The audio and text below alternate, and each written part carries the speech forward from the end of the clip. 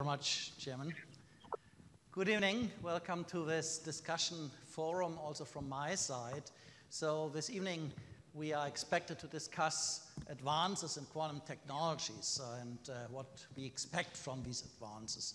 And I would like to pick out one particular example where advances in quantum technologies could uh, make really a difference. And uh, this is actually the bottom up design of unconventional superconductors uh, in magnet superconductor hybrid systems.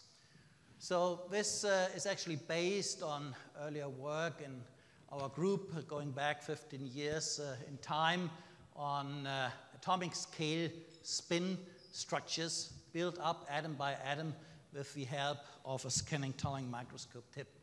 So we started actually uh, some time ago to build up nanostructures like chains, but also 2D assemblies, for instance, of magnetic atoms like here, iron atoms on a platinum single crystal substrate. And what we can do is we can really predefine the distances between the atoms. We can, of course, also select the species here. We can select the substrates. In this case, we have purposely chosen uh, a substrate where ex we expect high spin orbit coupling. And that has an influence actually on the spin texture of this chain because as we will see, we will not have a typical collinear state as we would expect for iron, but uh, we have a non-collinear state. So the beauty is that we cannot only do atom manipulation with the help of a scanning tunneling microscope tip, but we can also perform spin resolved imaging on the atomic level. So this is the spin polarized map of that uh, chain of iron atoms, and you see here uh, that uh, there is uh, here a drastic change in intensity of uh, measured spin related signal. It's in fact the spin resolved tunneling conductance which we measure between the STM tip and this nanostructure. And you see uh, that here the intensity is low, then it gets very bright, then low, then bright. Um, but uh, then you see it's not uh, fully periodic. And if we look at a line section across uh, this chain here, which is uh, plotted here, you see that this is typically a beating pattern resulting from the superposition of two spatial frequencies. Namely, a short period wavelength, which is coming from the antiferromagnetic uh, short range coupling.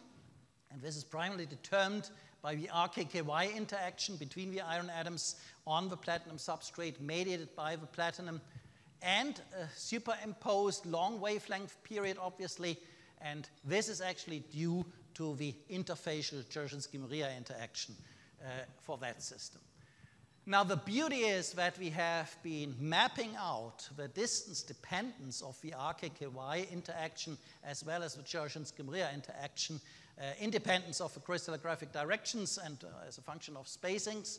And so, what we could do in the past years is really design such kind of spin spiral states, not only for one-dimensional systems, but we also discovered, for instance, uh, two-dimensional skyrmions in ultra-thin films like iron monolayers on iridium and many others, due to the insight into the atomic scale fundamental interactions like RKKY and uh. So that was very important, of course, and uh, that was actually uh, already here the topic of a plenary, by the way, at the very nice ICSM conference uh, at that time in 2012. Here you can see the organizer, Ali Gencer, uh, also attending that meeting. And uh, how did that help in the following? Now, as you all know, there have been beautiful expectations and predictions by theory, uh, actually making use of magnet superconductor hybrid systems to induce novel, exciting superconducting states. For instance, topological superconducting states in systems where you have a spiral state, just as you have seen it, but now interacting with an S-wave superconductor. So of course we have to replace platinum by something else like niobium. It was a wonderful uh, prediction theoretically because uh, not only the topological superconducting phase was predicted, but also the so-called Majorana states, as I have reported on, on Monday. And so, by atom, by atom manipulation, we could build up these structures here. In this case, manganese chains on a niobium substrate in the superconducting state. and we could really map out the predicted zero energy modes here very well separated from all the finite energy states which are trivial and we could even determine the topological nature of the gap structure. And uh, this is seen here. As I explained on Monday, we do this by Bogoliubov quasi-particle interference and Fourier transformation afterwards. And so we could really map out for the very first time the in-gap band topology uh, inside the gap of a superconductor, really showing extremely nice agreement between the experiment and the theoretical expectation for topological superconducting state for a quasi one-dimensional system and we could even determine the topological gap size. So this is uh, what I reported in detail on Monday, as you know. But there have been many other uh, nice predictions, and I would quickly like to go through. I have limited time. So uh, in 2016, six years ago, the Princeton group of uh, Bernevig made a very nice prediction about a topological superconducting state when you bring ferromagnetic islands in contact with an S-wave superconductor and you expect then chiral Majorana edge modes along the periphery of these islands. Again, you can do a bottom-up approach and uh, basically realize such a model type system, for instance, by iron monolayer islands on a superconducting rhenium substrate. What you expect is that within the superconducting gap, you have a chiral Majorana edge mode. So if you would look at the edges, uh, you would, uh, of course, expect to see intensity then, of course, which you would not be able to see in the bulk of the island. And this is exactly what you see beautifully here uh, when you map this uh, spectroscopically with the help of a tunneling microscope. Right at Fermi energy, you see this great intensity coming from this uh, Majorana edge mode. You see uh, induced gap here, a full pronounced gap. So the iron island becomes superconducting due to proximity with the rhenium substrate. And you see, of course, how the system develops if, if you go higher in energy towards the coherence peaks uh, of the superconducting rhenium. And there was in beautiful agreement uh, the theory by Dirk Morr and co-workers uh, from Chicago. You can go on and um, uh, look, for instance, for topological nodal point superconductivity, as has also been theoretically predicted. In this case, you can just uh, go for manganese islands which have an antiferromagnetic ground state and uh, interacting with a superconducting niobium substrate in this case.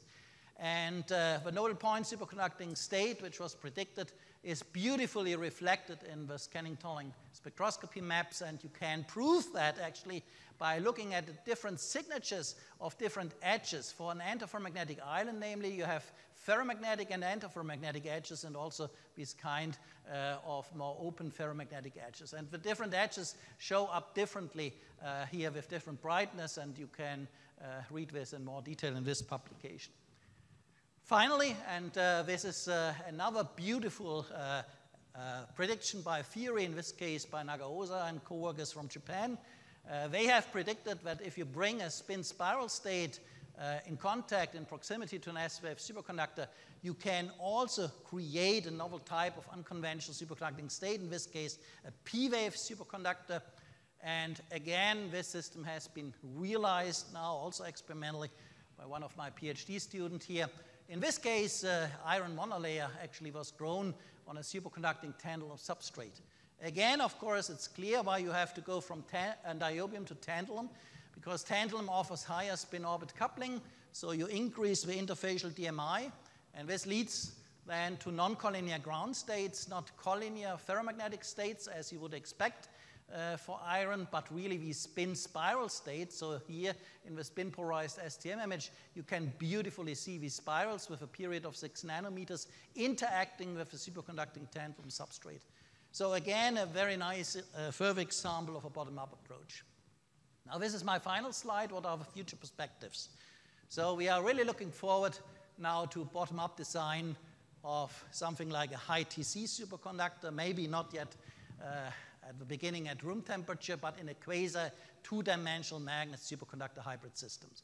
So, the idea is not to start with very complex materials where the physics uh, might be very complex to describe, but really to have something like a minimal experimental model system and a minimal theoretical model to catch the basic uh, physics uh, of, uh, uh, say, such kind of high TC superconductor. So one example of promising model systems uh, would be, for instance, a two-dimensional magnetic layer with antiferromagnetic spin fluctuations, which we can observe experimentally, proximitized uh, on top of a BCS superconducting substrate. This is one of the model systems we are working on. So as I said, there are needs now for minimal theoretical models describing possible enhancements of BCS superconductivity by non-electron phonon mechanisms. Uh, the beauty is, as I showed you these days, for any model type Hamiltonian, we can experimentally realize this from the bottom up, from individual atoms.